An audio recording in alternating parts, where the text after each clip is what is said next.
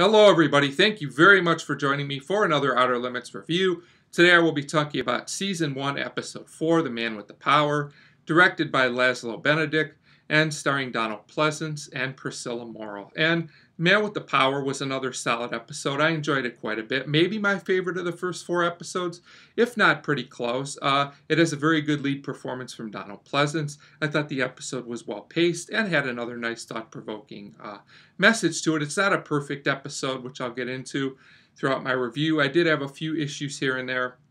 But overall, I think The Man with the Power is an episode that holds up pretty well and is well worth watching. So we start with a man. Uh, he's in bed and he's attacked by an unknown force.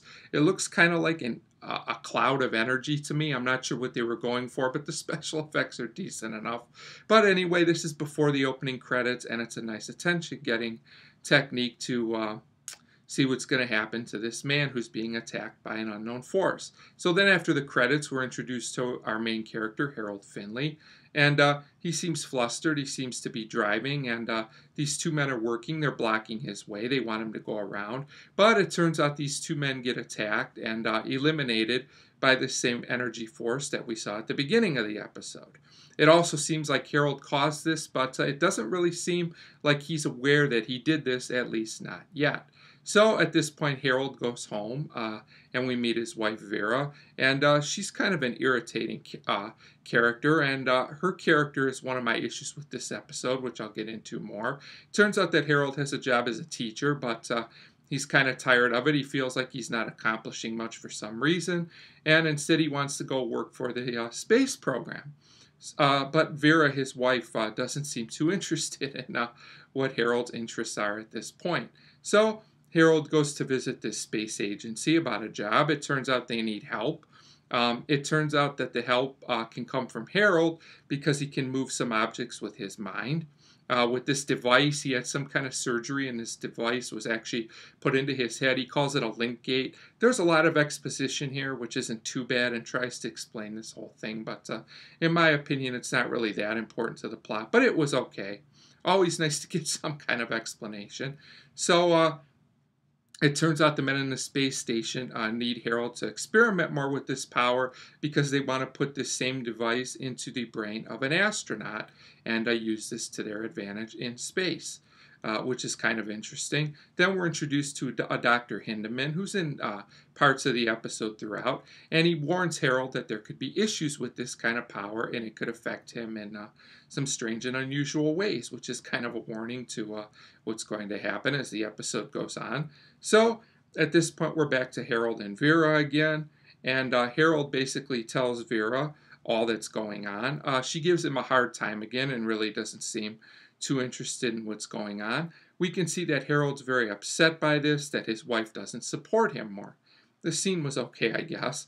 So um, at this point, Harold goes to the college where he works. He's trying to get out of his contract. The man in charge there, a dean, who's who's kind of an irritating character, in my opinion, won't let him go. He says you can't get out of your contract. I guess Harold couldn't just quit. That was my first thought, but I guess you just got to go with it.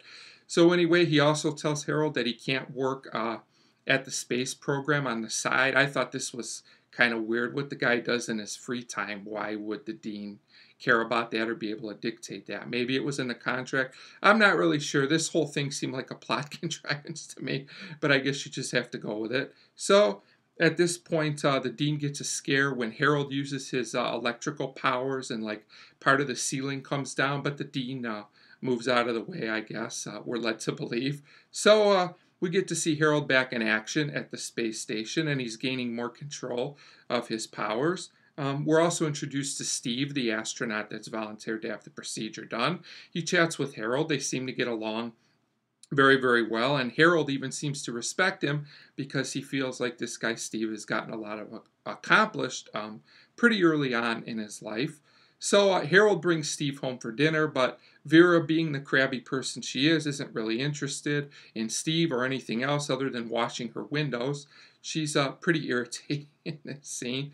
So eventually Harold gets upset, and once again, without knowing it, he knocks Vera down, like off of um, the ladder she's on to wash the windows with his electricity cloud, and she like hurts her foot or ankle or uh, or something. So at this point, as if Harold doesn't have enough problems, the dean calls him uh, back and tells Harold, you know, you've been neglecting your duties because Harold wasn't really teaching. He's been at the uh, Space Center. So, and this guy is really crabby, this dean, uh, but he says, you know, he wants Harold to continue doing his work. So, at this point, the dean is ready to go to bed, and we actually see the scene from the beginning of the episode. We now know where it fits in, which was interesting enough.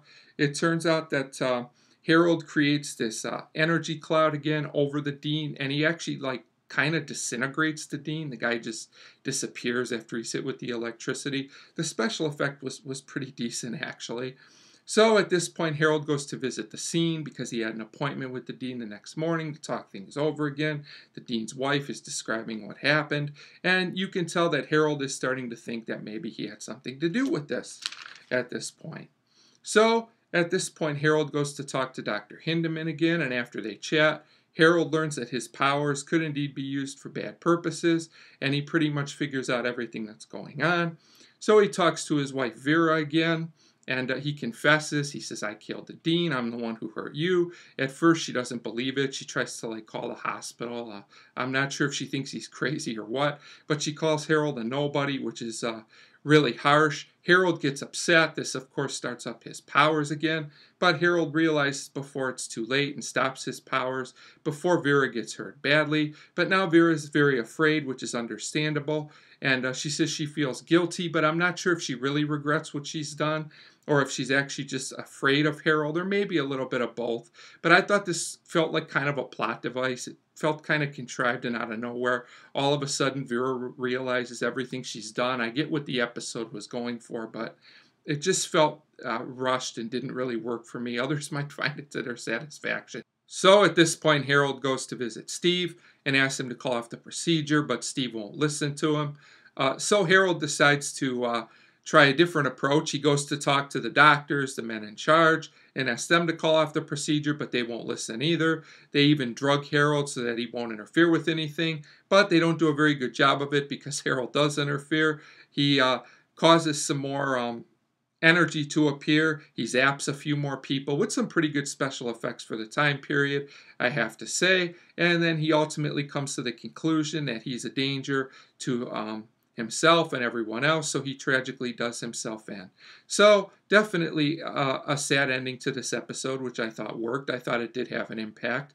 And like I said, The Man with the Power has a solid message that's still uh, relevant today. I just feel like there were um, a few plot contrivances that didn't work, but overall, The Man with the Power is another strong episode, and I'm going to give it a 3.5 out of 5. Definitely another episode I recommend to for fans of the series and just fans of classic science fiction.